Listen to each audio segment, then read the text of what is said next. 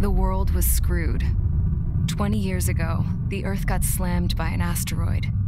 Usea was on the wrong side of the planet and got hit. Hard. Refugees swarmed the Erusean Republic, the biggest country on the continent, plunging it into chaos. They were desperate and started a war, one they had no hope of winning. That's the war my dad fought and died in. The biggest nations from two continents went head to head, and the so called righteous Oseans struck the deal that ended it. They fancied themselves the only nation that could bring peace and stability to the world. They even tried saving the Useans, still suffering from the disaster. That's how a space elevator, stretching way up into the sky, ended up being built in Usea, paid for by the Oseans. President Harling said he did it out of compassion for his fellow humans. But to the folks in Erusea, it looked like Osea was moving in to take over. Erusea went from being a republic back to being a kingdom. When they started this new war, they managed to get the drop on everyone. The second the declaration hit the news, Erusean forces took control of the space elevator without spilling a single drop of blood. President Harling was touring the elevator when it happened and disappeared. Then, while that was going on, the Erusean ships that were docked all around Osea released a swarm of drone fighters they had hidden on board in containers. No one thought they were capable of doing what they did that day. With pinpoint accuracy, they managed to take out everything that was military, and not a single civilian was hurt in the process. Osea pissed lots of people off with their huge military presence around the world.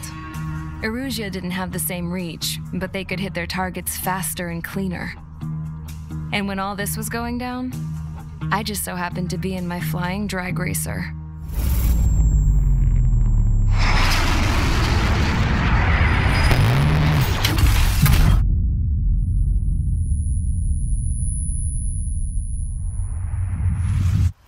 In case you were wondering, yeah, I survived.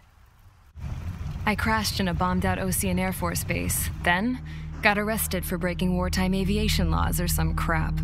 The world went from being at peace to being at war, all in the blink of an eye.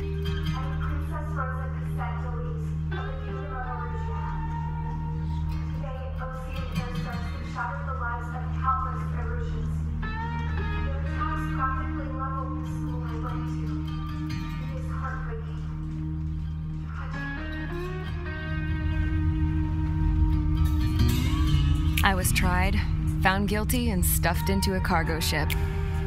For company, I had some court martialed soldiers. And remember those mothballed planes I told you about before? They were loaded on the ship, too. We headed off down south for several days and then swung east. That's how I got here. I was thousands of kilometers from Erusea on the opposite side of the Usean continent. For a port, it was dull as hell, it had three rusty patrol boats. And the base? The fences were topped with razor wire, the tower had a searchlight and machine guns, and a truck with a gun turret was parked in front of the gate. Its gun was aimed at the yard.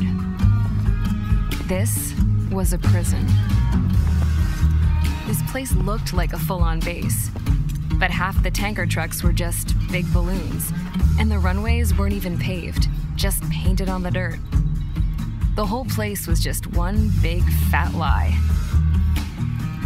The only reason I was here is because they knew I'd restored a supersonic plane.